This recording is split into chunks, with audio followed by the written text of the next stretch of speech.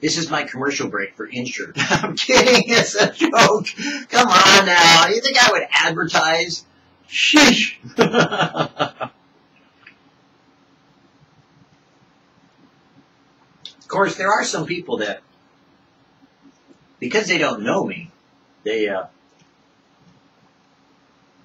hmm, tend to overreact sometimes to some of the things that I post on the internet because they take offense over sometimes being called on the carpet, so to speak. I mean, I'm not tr- trying to call them on the carpet. I'm just saying, look, here's here's the other part of the issue. But they don't seem to like that, you know, and I don't mind that when somebody presents a case, you know, it's like, if you have an opinion, you could post it on my pages and web or whatever. You want to say something for a comment, great. But I'm wise enough to know that when I have an opinion, I tell people this is my personal opinion, or for me, this is what how it applies. And in scriptural areas, that's wise because there are some things that aren't accepted by the church that people tend to get carried away on, like books of Barnabas or books of this or that and the other thing. And they want to go on the internet and tell everyone because this is accurate, they say, you know, and they basically, if you wanted to define it, they lie. Well, I don't call them liars. I don't go on their webpage and say, oh, you're lying. No, I just make a comment that says, okay, fine, you know, you use this Textus, but there's also the Textus Receptus. You know, we use this in order to, you know, understand what the scriptures say. And if you have an opinion, you know, sometimes your opinion could agree with scripture. And when it does, it doesn't matter how you got to that conclusion. The point is, you came to the right conclusion. Some people will come by way of the scripture. Some people will come by reading some off the wall magazine. Who knows? But God, by His Holy Spirit, will bring you to the same conclusion. Mm-mm. Not really what people want to hear. Usually they want you to agree with them or else get off their page or don't make a comment. Well, you know, that's that's good, you know, and I get deleted a lot. But I'm not going to lie to you. I mean, you know, this is what the Bible says, you know, and this is what you say, and if you're in agreement, cool. I don't care how you got there. Or if you tell me, well, God said for me to put this out there the way I said, I'm going, okay. If God told you to do that, go ahead. But you see, whenever there's this kind of like general idea out there on the internet that you can say anything you want to and nobody's going to comment on it, that's not true. Find somebody like me and I'm going to say, I don't think so. I mean, if you're telling me something weird, you know, like, well, you know, there's four gods. I don't think so. You know, or there's God is it, Father, Son, and Spirit. You could say that, but you know what the Bible says, and that's what a way I'll present it. You know, say, well, you know, you could say that, you can. You know, you're free to do anything you want to do and believe any way you want to believe. But the Bible says, you know, and this is what Jesus taught me. You know, part of that process of knowing what to say and when to say it and how to say it, and you know, the choices we make every day about either being deleted from somebody's friends on Facebook or comments deleted wherever is part of discipleship and growing and becoming more of a believer.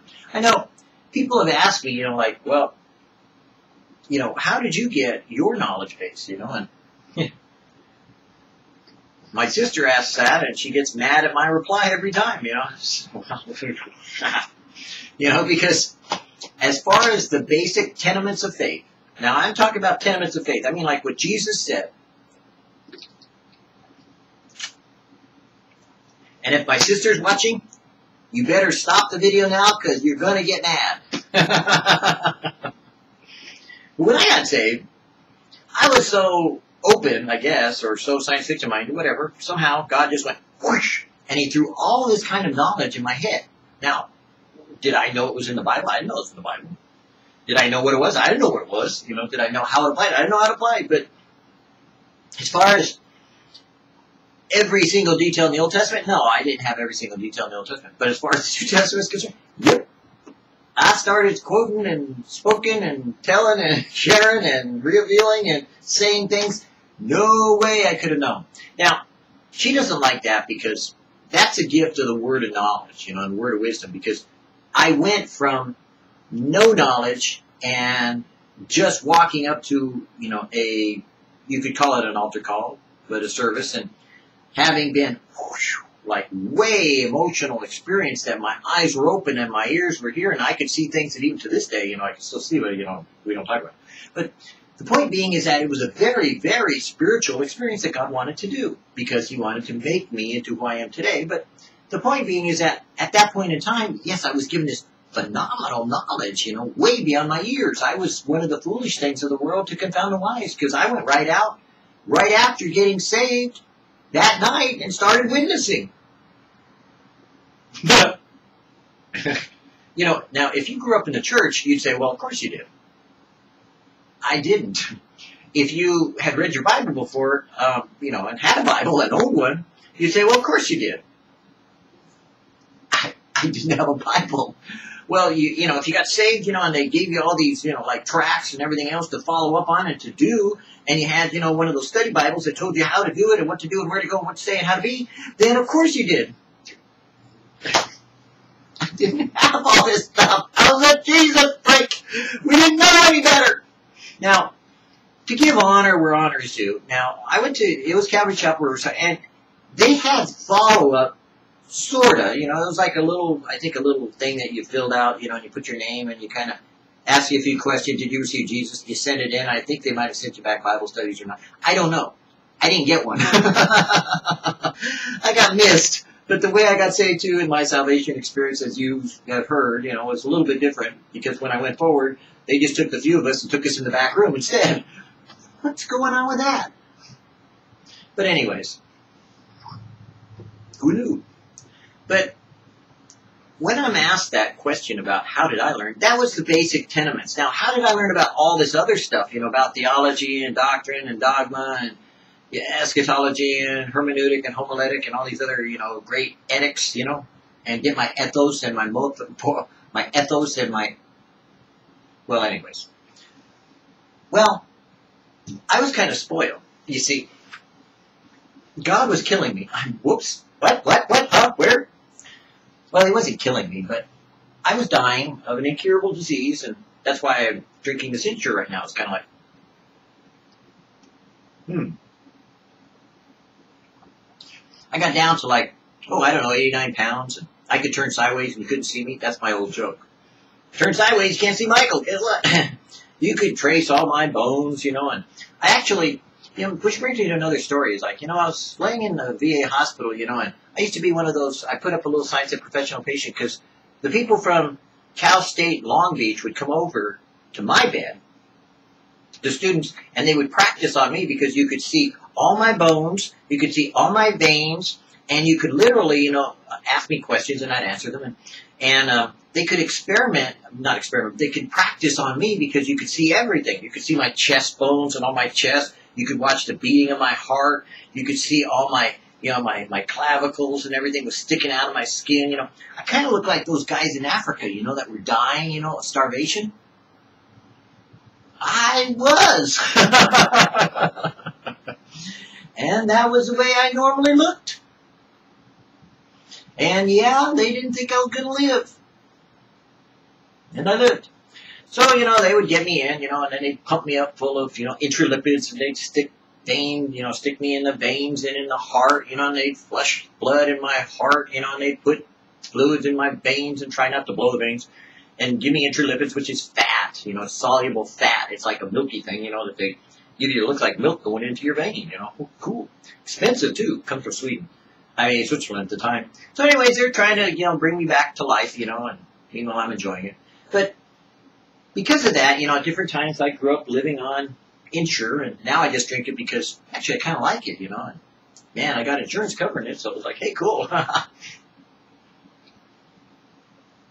oh yeah, and if I don't drink it, I, I get back down to 140 pounds, and I look a little thin, but you know, I don't usually go below 140 too often unless you know I start getting a little sick, but not from the disease anymore, just from the consequences of it.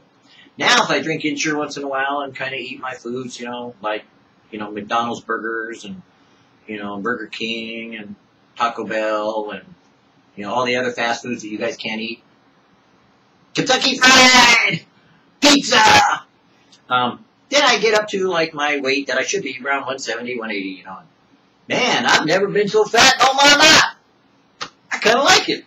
Because, see, I used to be 140 for 20 some odd years after I got, you know, kind of like less than dying because it was like I was dying until I was about 30, you know, and then I lived past 30 and suddenly I was like 140 for must have been 20 years. Then just the last couple years, being married to my, my wife,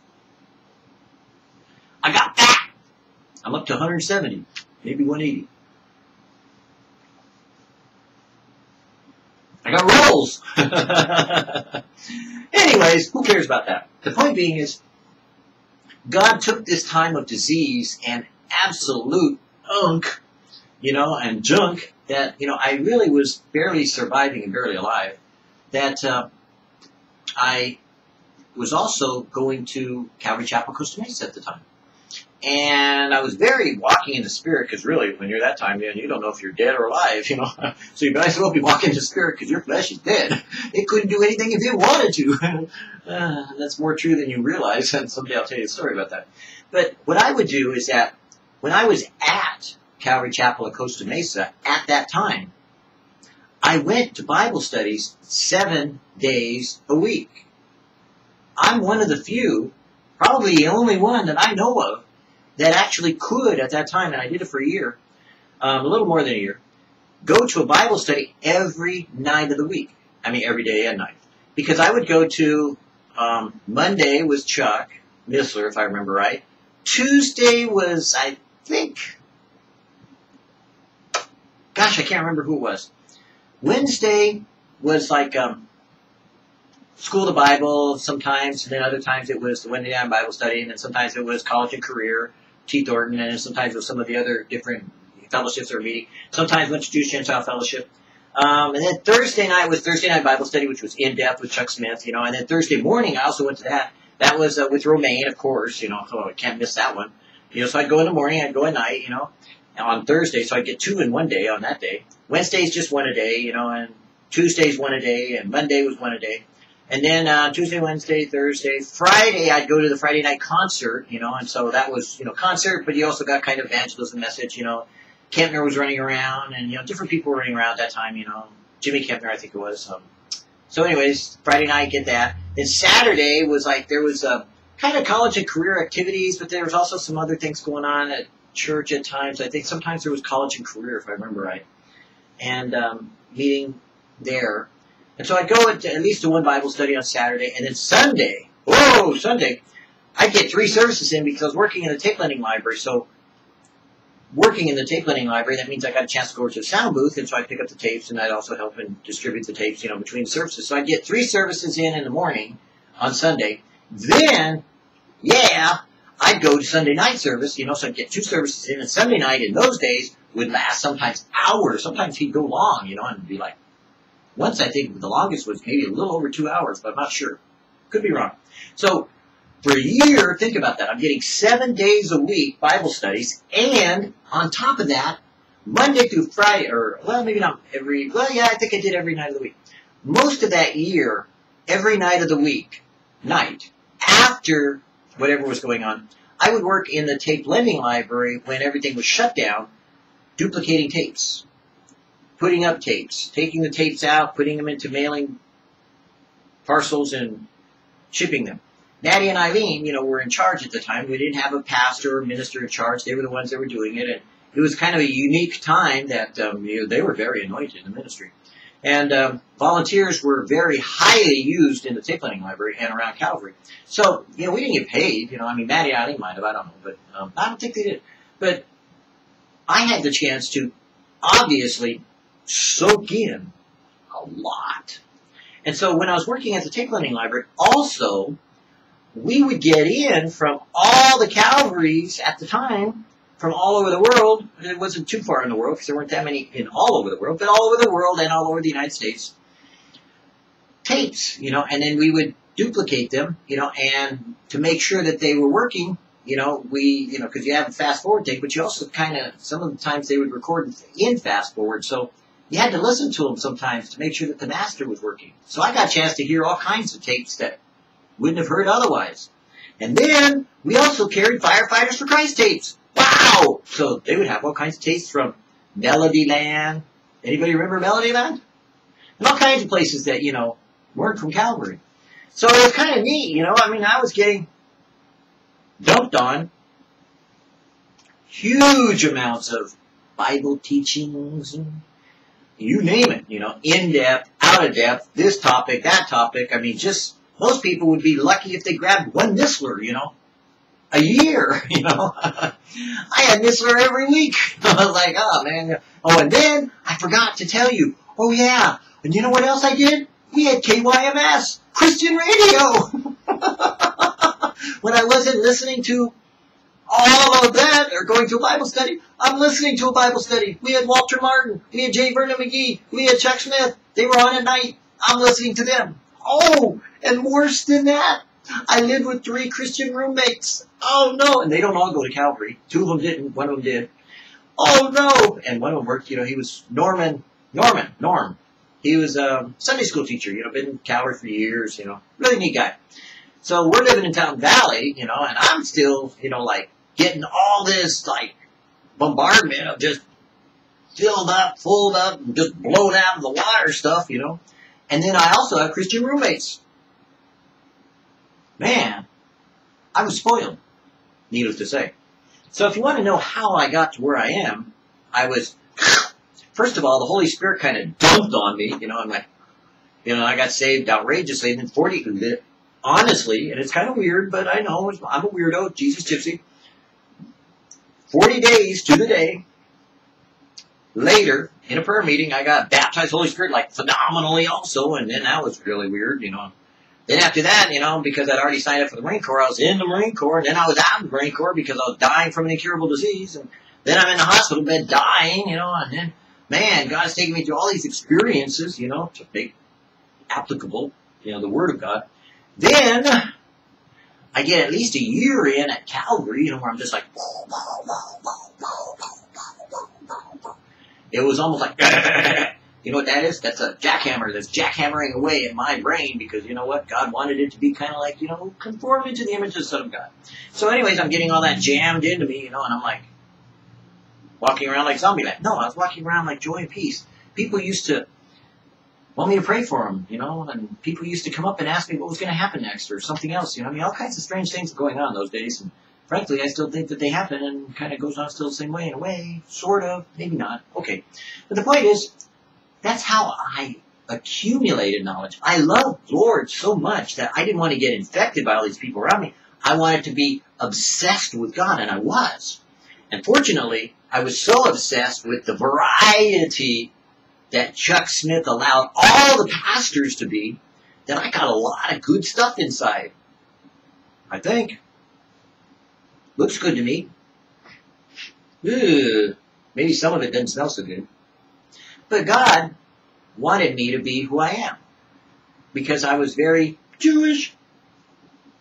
And He was going to send me to different places throughout the world that if I didn't know what I was doing, Boy, would I have been deceived. Man, let me tell you. Whoa, can I tell you? Whoa, what I tell you? But no, I was meant to be developing into a personal relationship with God that I would prove and demonstrate that it wasn't about what we knew, but who we did and how we related to God, regardless of the junk we got upstairs, and regardless of how much we think we applied in here and how much we think we throw out there is a long bomb from a football pass or whatever pitch we have, whether a screwball, you know, a slider, you know, or some kind of fastball that we're trying to get past the person, you know, so we can win the inning. Because in reality, it's not a game. I, in my life, was so messed up. I needed the living God to be living. I was so messed up. I needed the loving God to love me. I was so messed up. I wanted and needed love. Because what was about to happen would have killed me had not God loved me. Had not God been real. Had not God demonstrated emotionally and later physically and later intellectually, verbally, phys- physically, emotionally, demonstratively. And had not God spoken directly to me, I would have died. I would have killed myself. As a matter of fact, I think I tried twice. It Didn't work so well. Then, as if trying to kill yourself doesn't work, the doctor's trying to kill me. Oops. I nearly died on the operating table. That's one time. And then they gave me the wrong blood. Go figure that. That almost killed me. Oh well. But God said, when He was loving me and talking to me and spending this wonderful time fellowshipping with me and developing me, He said I would not die but declare His glorious works and to speak forth those things which I had seen, heard, and understand and handled with my own hands. So I only shared those things that I experienced as well as what I had done. So God said, fine. You want to do it that way? Move! So He moved me all over the place. He took me to places I never would have dreamed of. I went through experiences no one would ever try. Some of them were good. Some of them were bad.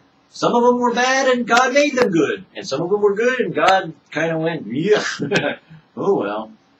But God took them all and said, this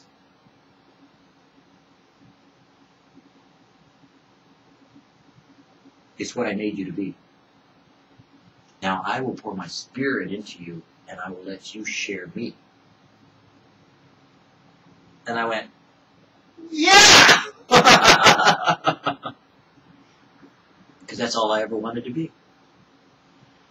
I didn't want to be a great pastor and all the men of God that I saw, that I served, that I worked behind the scenes for, as well as even handling their tapes and their ministry stuff when they were first getting started. Sometimes when they were still picking up cigarette butts, you know. When I saw all them go on to be great men of God, man, I thought, wow, did I do something wrong, Lord?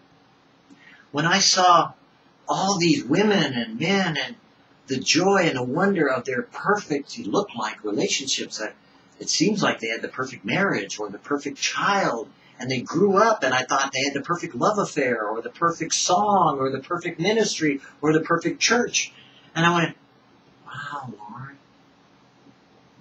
I do something wrong? When I found myself suddenly one day, 10 years after all this happening, finally given health and didn't die at the age 30,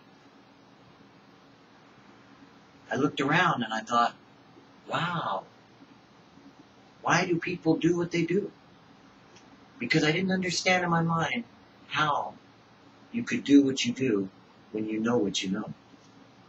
And so I went out and proved oops, that we are all sinners. and I loved it. No, but uh, oh no, well, who's what's that kiss thing they go? And I loved it. Whatever.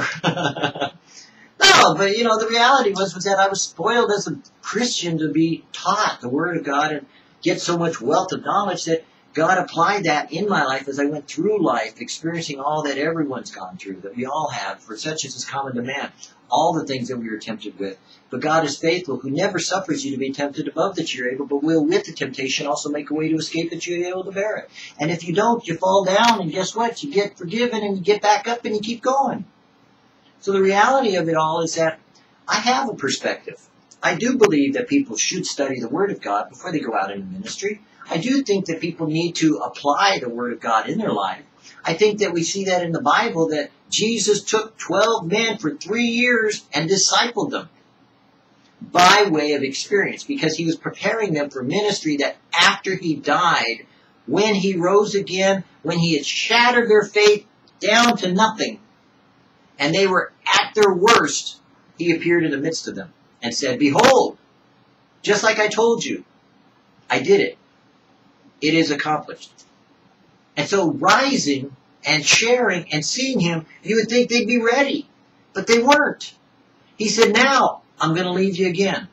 I have caused you to rejoice and you see me and are alive and I understand and you've gone back out in the boats and fishing and now I've even made you some fish and you're eating, you know, and you're with me and we're just like the old days. But we can't go back to the old ways. It's not you and me. It's not me and the boys, you know, Jesus and the boys. We're not running around Galilee anymore. Now we got to get busy. Now we got to get on with what we're supposed to do. I died. I rose again. I'm sending you out to do what I wanted you to do. You had this time with me for a very specific purpose. You were my chosen. God gave you to me, and I have not lost any of you except the one.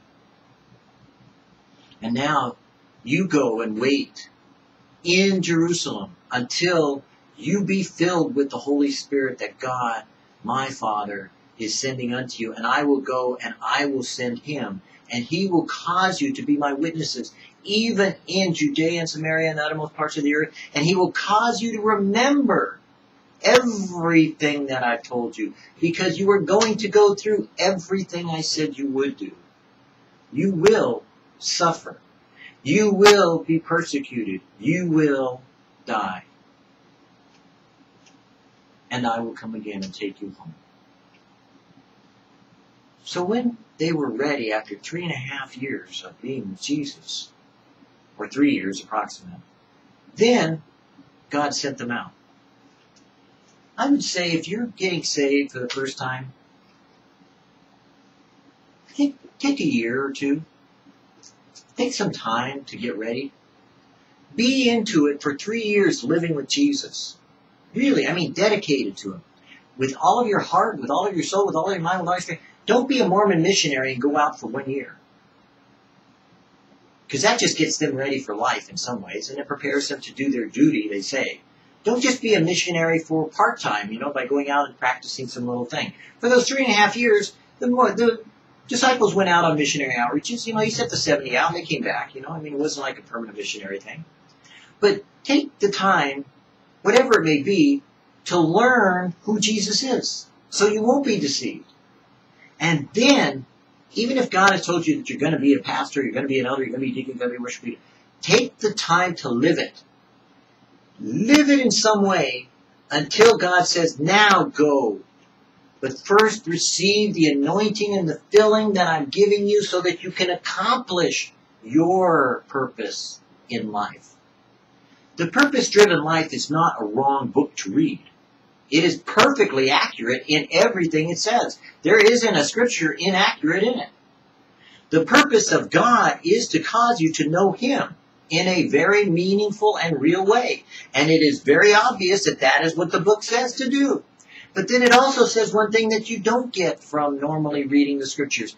God has a purpose for you to do as you are living with Him every day. And that is to walk in His way and accomplish His will.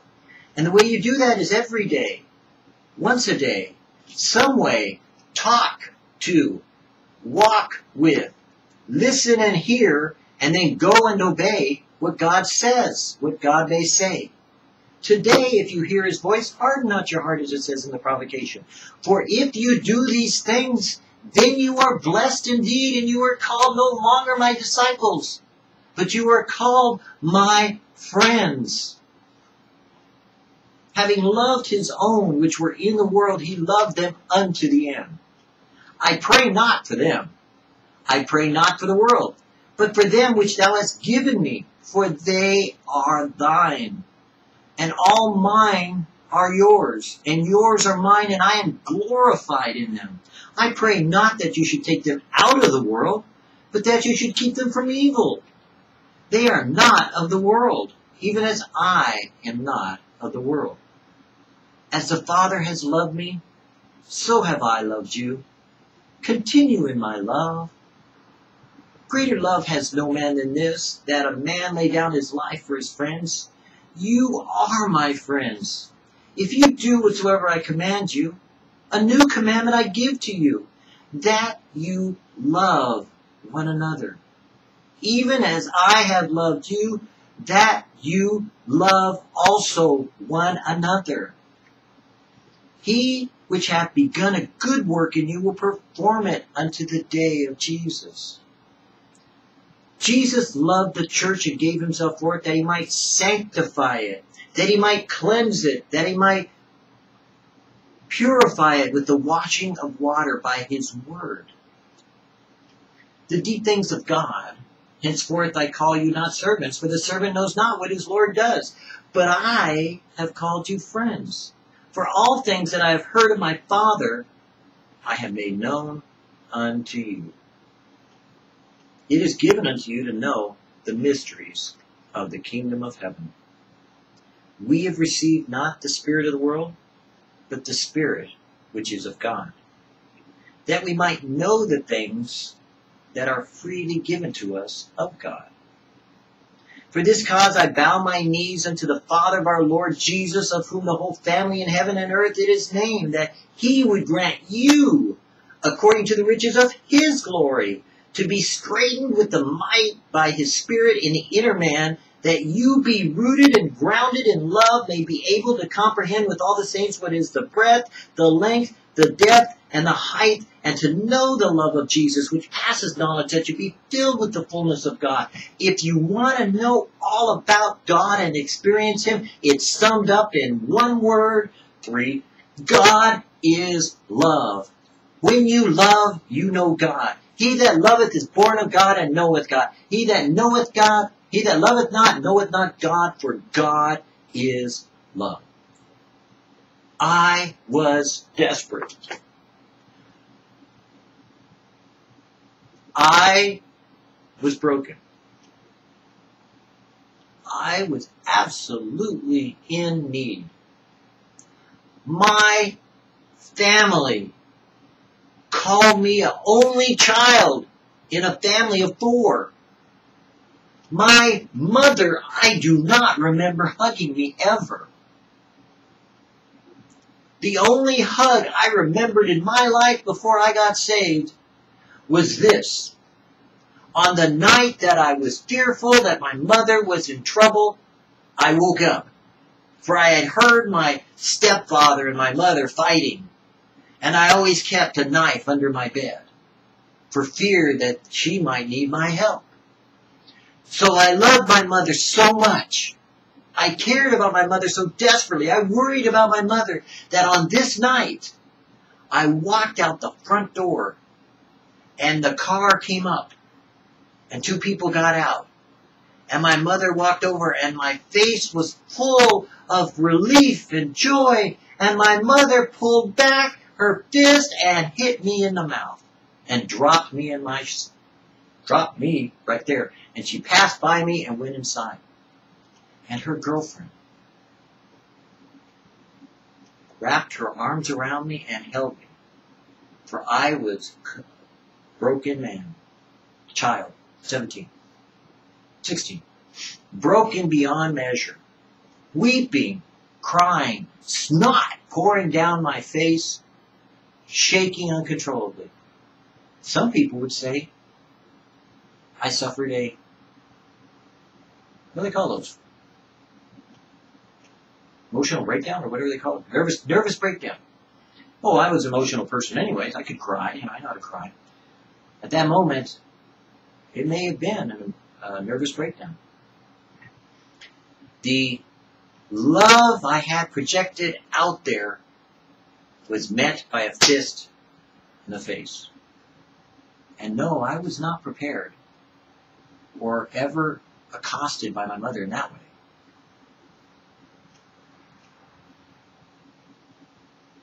My love that I thought I had for my mother, my love that I thought I had for my sisters, was always demonstrated in little things that they never accepted or understood. But God saw. God knew. God saved me. Because at a concert, when I went to it and I saw the love of everyone there, and if you've been to a Jesus People concert in those days, you knew the love. It wasn't about the joy, it wasn't about the spirit, it was about the love. You knew the love. They glowed. And when I got saved, the love filled me and overflowed, and I glowed. And I finally found the love I was looking for. Because I was so desperate. I was so in need. I wanted to be loved. I wasn't looking for love in all the wrong places. I didn't know where to look. I had no idea. I thought my mother loved me, and that was love. I thought my sisters loved me, and I thought that was love. I thought all the stepdads loved me, and I thought that was love. I thought the people in school who tried to cut my hair because it was long, the people who beat me up on the way to school because they were my best friends, I thought that was love. Was I a broken child? Not in my book. I thought that was normal. Today, people would be using that as an excuse. now me, I thought, shoot, I was like pretty darn tough, you know, I thought. But God knew my heart. He knew what I could do. He knew what I could be. He knew I could love. Like no other ones would love. Like passion beyond measure. Like joy unspeakable. Like peace divine. To fill my heart and soul and being and reach out to the hand up there, like Neil Diamond said, and to reach my hand out to someone else and to bring them along the way and to say, God, yes, wow, cool, let's do it, Lord. Let's save the world. You and me. We don't need anybody else. so you see, God is the answer. If you're one that wants to go out in ministry, it may kill you.